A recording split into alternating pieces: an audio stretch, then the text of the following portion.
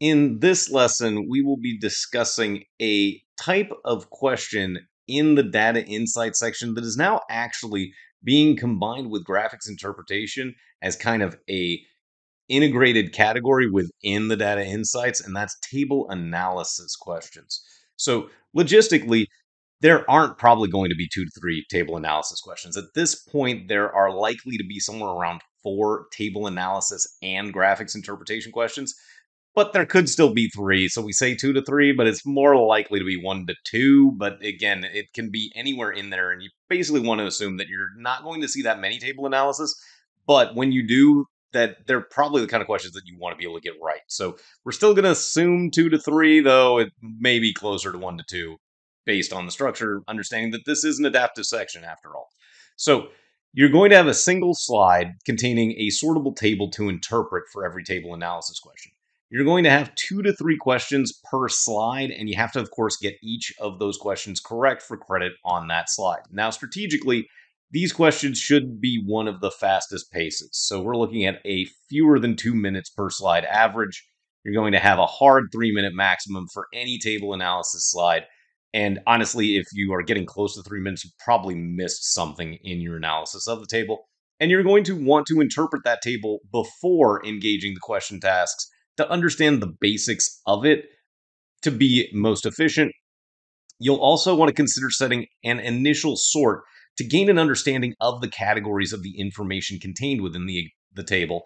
And you'll, of course, want to use the provided interface calculator for any clumsy or complex arithmetic that may be uh, required by the table analysis slide in front of you. So we've got a sample info table here on the left-hand side of the screen. And so you want to note your categories, your titles, your metrics, and any broad trends to start. So we can see we've got some insects, and then we've got some total acres, we've got natural national forests, native, other federal and state and private as some categories. And we read at the beginning, we see that the table below shows all activity detected during aerial surveys in Alaska in 2019 by land ownership and insects. So we've got the insects, we've got the total acres, and it apparently shows that the national forest native, other federal, and state and private are the categories of ownership. We did skim the text, and we probably needed to here to understand that it's by land ownership. Otherwise, we're probably wondering what the national forest, native, other federal, and state and private means. So make sure that you don't completely ignore the accompanying text. Do recognize, however, that the default sort for these tables is often alphabetical, and that's pretty useless because they're not going to ask as a question which of the insects is 10th in alphabetical order? It's just not going to happen. So that means we want to look for a more useful sort based on our initial investigation. So, how do we sort the table? We want to synthesize the information from the table and the text to determine a possible initial sort. And we can see the relationship between the categories. So, it's all about the number of acres here in this table. And we've got the insects that are apparently detected within some acreage in these different types of land. You can sort in both ascending and descending order in many of the tables. It's not guaranteed that you can, but often you will be able to. And you can see here, we've now sorted by total acres, and that's going to be fewest to most, but we can also sort from greatest to least. And it's completely at your discretion which you prefer. I tend to think the greatest to least is better, but it really depends on what the question ends up asking. And you just need to make sure that you've got a sort that's more useful than alphabetical. So now let's take a look at some sample questions. And we're going to select yes if the following statement about Alaska insect infestation is supported by information in the table. Otherwise, we're going to select no.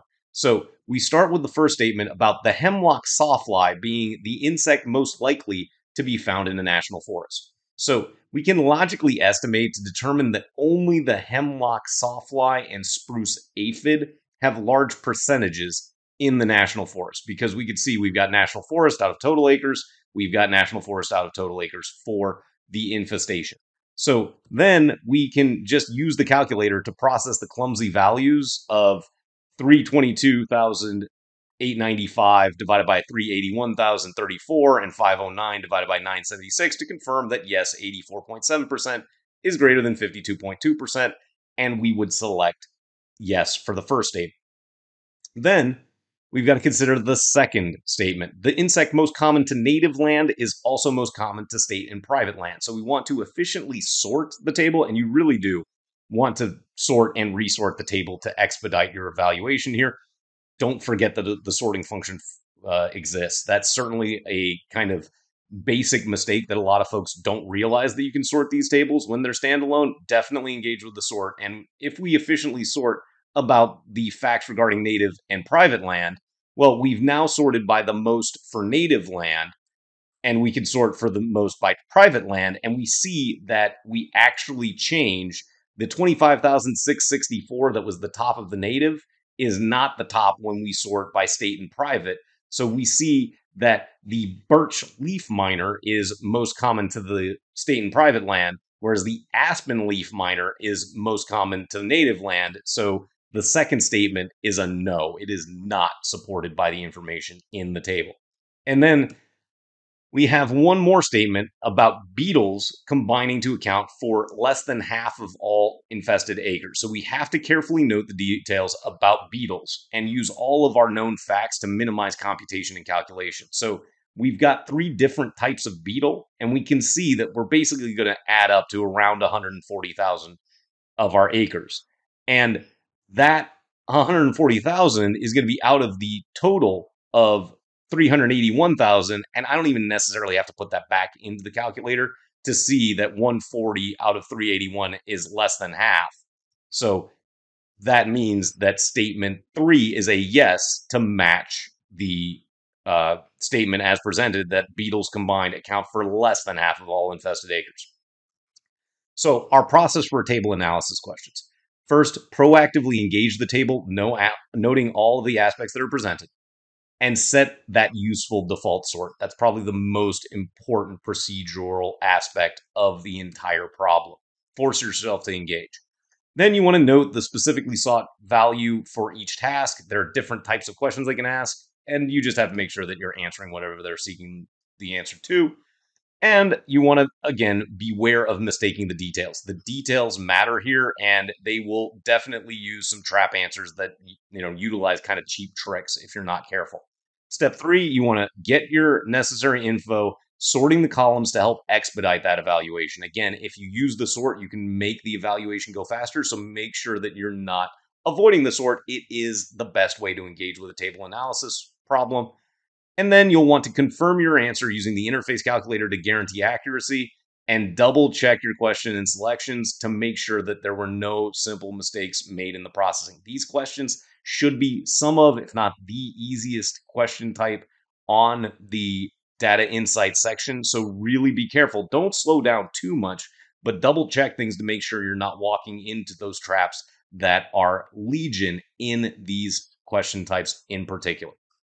So go ahead and practice some table analysis question drills on your own to improve at what is one of the foundational skills that you'll need to excel at the GMAT Focus Edition Data Insights section.